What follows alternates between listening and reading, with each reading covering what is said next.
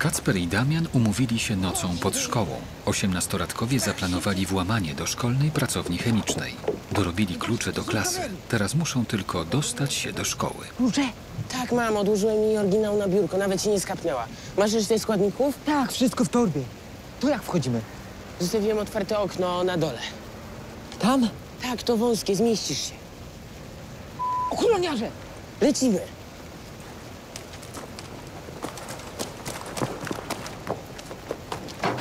Stary, widzieli nas! Nie widzieli, dawaj, idziemy. Jeśli nas złapią w lodze szkoły, mam gwarantowany. Ale z drugiej strony warto zaryzykować. Helena to najfajniejsza dziewczyna, jaką znam. Nie mogę tego spieprzyć. Co mnie pchasz? Licealiści są zdeterminowani i bez względu na konsekwencje zamierzają w pracowni chemicznej zrobić dopalacze według receptury znalezionej w internecie. Nadzieja na udaną imprezę z Leną i Wiktorią powoduje, że nie myślą o tym, iż za włamanie mogą być wyrzuceni ze szkoły. Zapalam światło. Gdzie debilu? Gaś szybko, ochroniarze są na zewnątrz.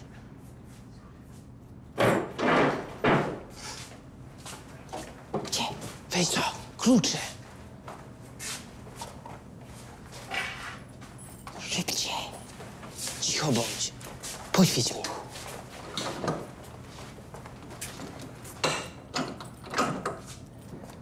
Dobra, ja wyciągnę wszystkie rzeczy, które są potrzebne, a ty wyciągaj to, co mamy. Dobra.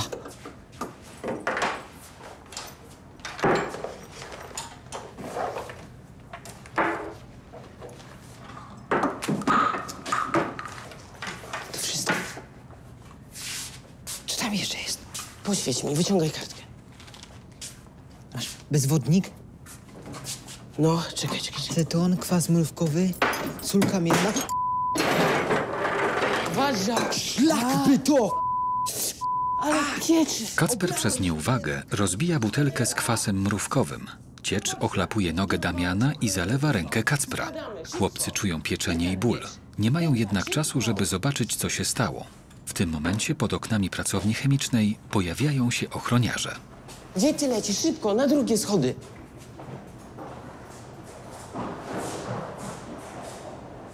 Szymon, Już idę. chodź, już, chodź.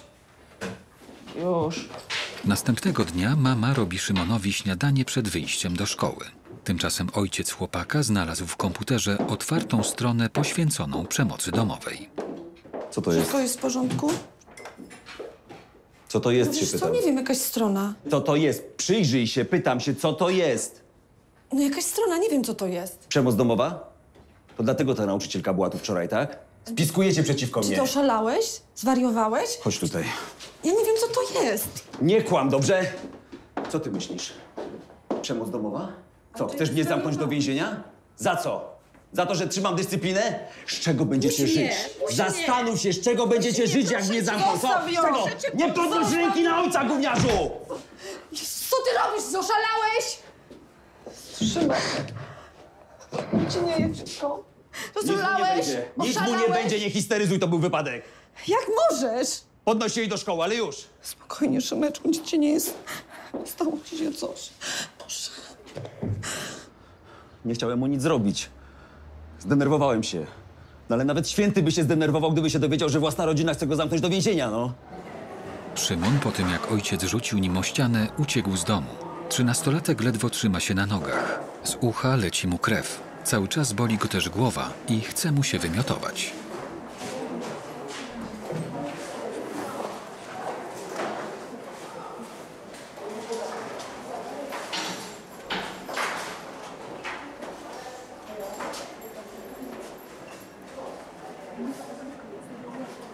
Mówię po prostu, w drugim sezonie. To jest totalna miazga już. A chłopie, ściągnij sobie trzeci. Ale to jest poczekaj. takie milion, Ściągnę milion trzeci, razy ale ja lepszy. muszę skończyć drugi. O, e ty, kurde, co mu jest? Ej, coś mu nieźle Kurde, narąbał. Ej, dobrze się czujesz? Ej, No, nie Szymek, sobie na pewno. ogar, ogar. Ej, ej, Ej, Szymek, co się ej, dzieje? Szymon! Ej, czekaj, ej, zostaw mi torbę w szatni, ej, zostaw torbę w szatni. Szymon przed kolegami próbuje udawać, że nic się nie stało, ale czuje się coraz gorzej i ma zawroty głowy. Chodź, ej, Szymon, słabo Szymon, ci? Szymon. Słabo ci? Ej, Co się dzieje? no nie wiem, my przyszliśmy i już od razu miał takie rozkrwawione ucho. Szymon to ojciec, prawda? Nic, nic nie ma, wolałam tylko. Szymon, przestań gadać głupoty, przecież ja wiem, co on ci robi. Zostaw mnie. I tak nic nie zrobisz. Nie rozumiesz. Przestań, przestań. Słabo ci? Ej, czekaj, Idziemy do higienistki, szybko! Dawaj. Ej, dobra, on nie ma nic do gadania, dawaj, bierzcie go, Weźcie bierzcie go do bierzcie go. Weź mi plecak. Czekaj, ja wezmę plecak. Ja lecę po gruszkę, bo to na pewno ojciec go tak załatwił. Dawaj. Czekaj, czekaj. No spokojnie, spokojnie. Uważaj. Uwaga. Pani kolega mdleje. Koledzy Szymona natychmiast przyprowadzają chłopaka do higienistki. Proszę, proszę tutaj go położyć. Pomału. Dobra, dobra. Spokojnie. Dobra, a teraz co się stało? No, ojciec go podobno w domu pobił. Weź daj rękę. Przyłożę ci to tutaj. I Przyłóż sobie mocno, trzymaj, dobra? Ja muszę zadzwonić na pogotowie, chłopaki, dobra? Ja podejrzewam wstrząsienie mózgu. Po nocnym włamaniu do szkoły Kacper ma poparzoną rękę. Jednak nie przyznał się rodzicom do wypadku. Chłopak boi się, że kiedy prawda wyjdzie na jaw, to tuż przed maturą zostanie wyrzucony ze szkoły. Jego kolega Damian po raz pierwszy nie czeka na niego pod szkołą. Siedzi załamany w szatni z obolałą nogą. wyrzucić t-shirt i bluzę. Ten syf je totalnie przeże. No, musimy coś z tym zrobić. Musimy iść na pogotowie. Nie możemy, wywalą nas ze szkoły. Czytałem na internecie, że wystarczy przemywać tylko mydłem z wodą i powinno samo przejść. Wodą z mydłem. Przecież nawet nie wiemy, co to było. Cześć, Cześć chłopaki. Ej, słuchajcie, dziewczyny. mamy taki pomysł z Zenką, że może zarzucić coś wcześniej, przed imprezą jeszcze.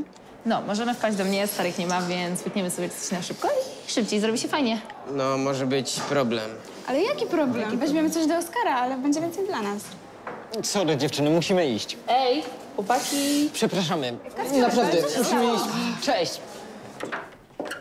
W pracowni chemicznej Alicja Stańko pokazuje dyrektorowi zniszczenia po nocnym włamaniu. W szkole już był patrol policji. Za chwilę przyjadą technicy policyjni i zabezpieczą odciski palców włamywaczy. Dziwne, włamali się i nic nie ukradli. Zrobili niezły bałagan. Ochroniarze niczego nie widzieli.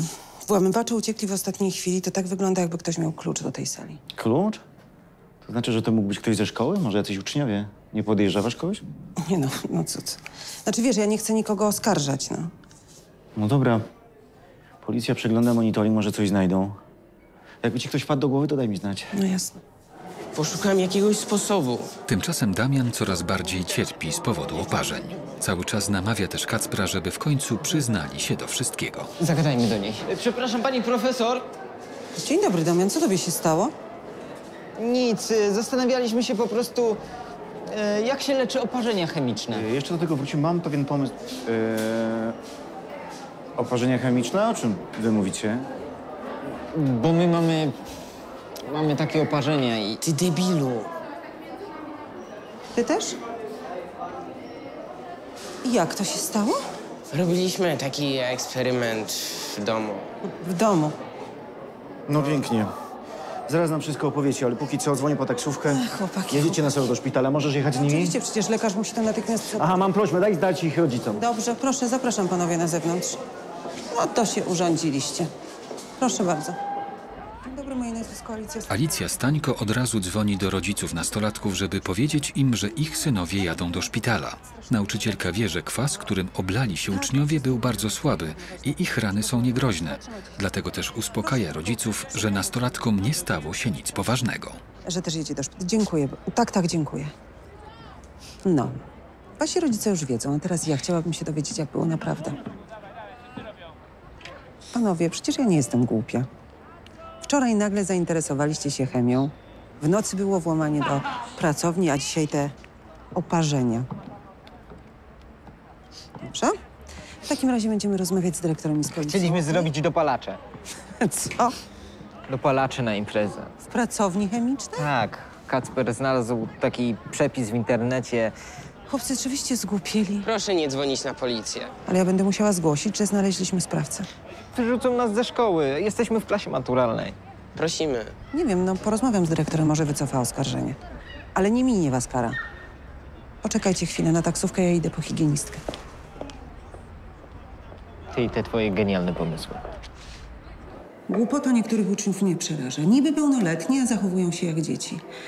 To oczywiście nie są groźne poparzenia, bo stężenie kwasu nie było duże, ale powinni byli od razu zgłosić się do lekarza. Cześć, pogadę, zobaczymy. Damian jest załamany tym, że może zostać wyrzucony ze szkoły.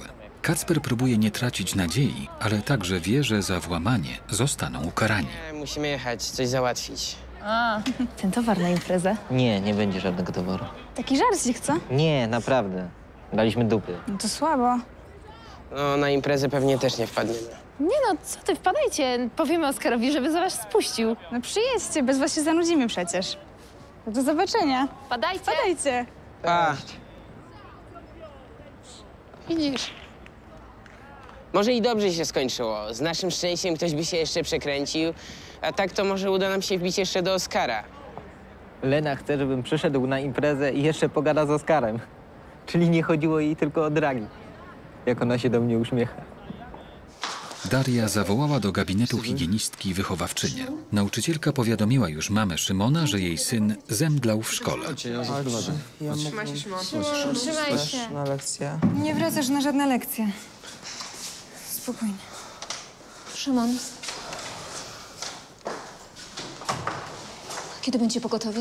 Już dzwoniłam, za chwileczkę powinni być. Spokojnie, nie podnoś głowy. Ja mam pytanie, czy mogłaby pani nie dzwonić do taty, bo on się może zdenerwować. Po prostu boję się, że, że moja mama coś może zrobić. Szymon, spokojnie, twoja mama już tutaj jedzie. Sama? Tak, poprosiłam ją, żeby przyjechała sama. Jest pogotowie. W końcu. Gdzie ten chłopak? Tutaj. Tutaj, tutaj. Już idę, dobra, zaczekaj tutaj. Proszę się odsunąć, coś tak dokładnie stało. E, obrażenia głowy, ucho lewe. Podejrzewam trzęsienie mózgu. Halo, słyszysz mnie? Popatrz tutaj. Podaj kołnierz. Dawaj, stabilizuję. Nie, nie podnoś głowy, ja ci trzymam, wiesz? Nie podnoś. Po wstępnym badaniu ratownicy decydują, że Szymon musi zostać natychmiast przewieziony do szpitala. Krwawienie z ucha wskazuje na poważny uraz, który może nawet zagrażać życiu trzynastolatka. Dobra, ale nie stoimy w przejściu. Przesuńcie się. Nie stójcie tutaj, bo... Ale proszę się odsunąć. Się, no. Kiedy ratownicy zabierają Szymona do karetki, do szkoły dociera jego przerażona matka. Kobieta w końcu zdała sobie sprawę, że pozwalając mężowi na bicie syna, bardzo krzywdziła swoje dziecko. Wszystko będzie dobrze. Szymek, jak ty się czujesz? Mi się, proszę cię. Spokojnie. Jedziemy na ulicę Biskupicką do szpitala, można jechać za Co tu nami. się dzieje? Do szkoły dociera również ojciec Szymona. Mężczyzna, mimo tego, że rzucił synem o ścianę, nie czuje się niczemu winny.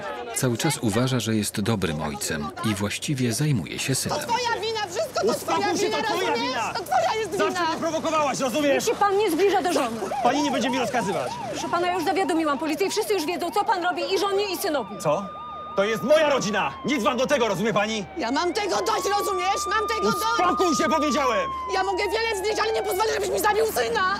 W tym momencie do szkoły przyjeżdża policja wezwana przez wychowawczynię Szymona. Mężczyzna zostanie oskarżony o pobicie syna i znęcanie się nad swoją rodziną. Grozi mu za to nawet 5 lat więzienia. Mamy informację, że pan y, pobił swojego syna. Czego ode mnie chcecie? Ja nic nie zrobiłem. Proszę pana, musimy to wyjaśnić na komisariacie. Powiedziałem, że nic nie zrobiłem. Proszę pana, proszę dobrowolnie udać się do radiowozu. Proszę bardzo.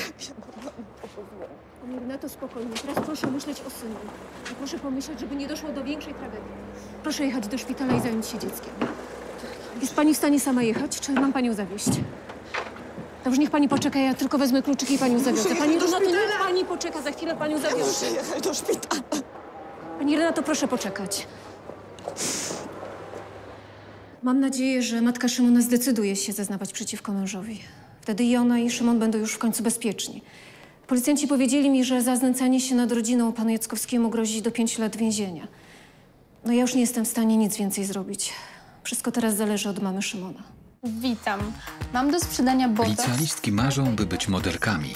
Kupują w internecie botoks i zamierzają same go sobie wstrzyknąć. Trochę się boję, ale muszę to zrobić. Stawka jest wysoka, no raz się żyje. Rany boskie, co, co jej się stało? Eksperyment nie udaje się. Nastolatka dostaje uczulenia i cała puchnie. Jak się czujesz? Mam wyniki! Trzynastoletni uczeń mdleje w szkole z przemęczenia. Jacek powiedział, że spał tylko trzy godziny, bo przygotowywał się do sprawdzianu. Ambitna matka zmusza syna do nauki ponad jego siły. Nie pozwól sobie wmówić, że nie dasz rady. To jest nieprzeciętny umysł, to nie jest zwykłe dziecko. Ja nie pozwolę zmarnować jego potencjału. Nastolatek nie wytrzymuje presji i chce się zabić. Jezus Maria, ja... Opazywałeś mi.